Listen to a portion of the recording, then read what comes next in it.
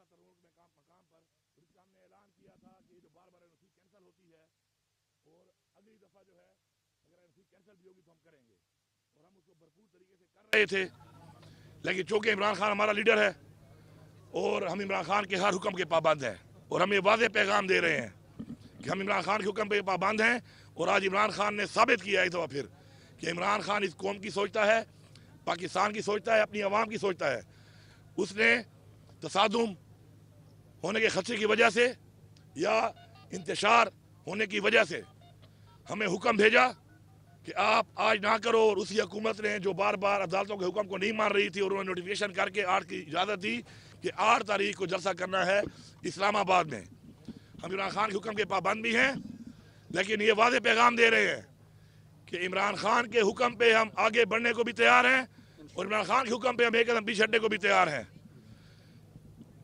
मुल्क में आइन की पासदारी, कानून पे अमल दरामद हुकूमतों की, इदारों की, अदालतों की ज़िम्मेदारी है। अपनी ज़िम्मेदारी पूरी करें।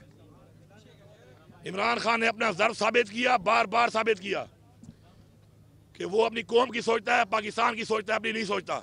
एक दफ़ा फिर से साबित किया। मैं वादे पैगाम दे रहा हूँ। एक तो इमरान खान ने कहा कि रुक जाओ, हम रुक गए।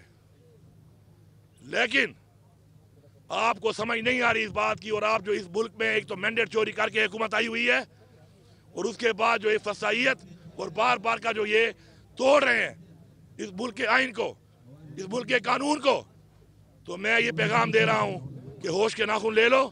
इन खान की कार पे हम तैयार हैं, और हमने पहले भी कहा था, और हमेशा कहते हैं, हम जब ये निकलते हैं तो ये सर पे जो हमारी सफ़ेद चादर होती है कफन समझ के निकलते हैं हम। हमें मजबूर ना करो अपने हक के लिए कि हम उस हद तक जाएँ कि आप बर्दाश्त ना कर सको।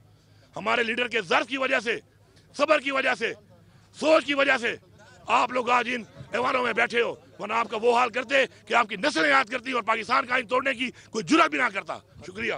अच्छा सर, एक बात बता दीजिएगा